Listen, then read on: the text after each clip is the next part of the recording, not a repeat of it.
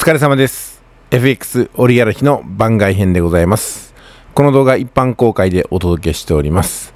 えーただいまね、160円突破のニュースが入りまして、確認すると160円突破してますね。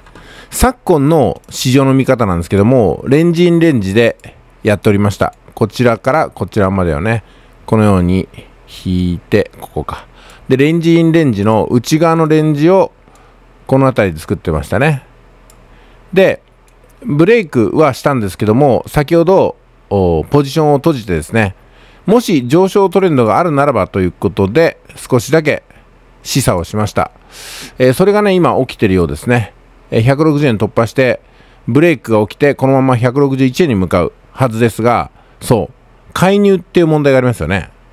私は介入はもう限界回数を使ったのではないかなと思ってるんですけども、果たしてそれがどのようにこの相場に影響するのか、ちょっと固唾を飲んでいきたいところかなと思います。はい。